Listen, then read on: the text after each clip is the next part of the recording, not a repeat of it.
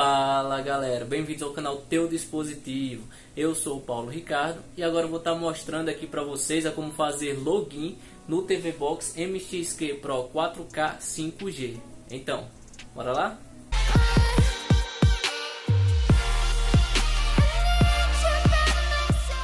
Então galera, é super fácil você fazer login aqui no TV Box. Nós vamos estar vindo aqui nas configurações em settings e aqui nós, nós temos a opção aqui contas e login.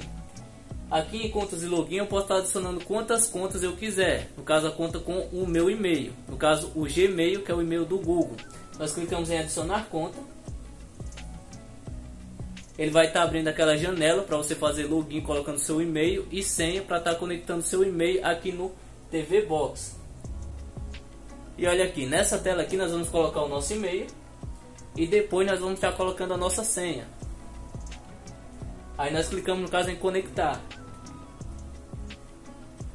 Depois de conectado, galera, olha aqui, ele já aparece aqui na lista de e-mails conectados. Aí agora sim você já pode estar usando completamente seu TV Box, como por exemplo instalar aplicativos da Play Store, que tem que ter a sua conta no caso conectada.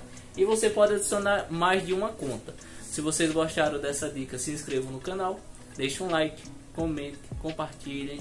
Valeu!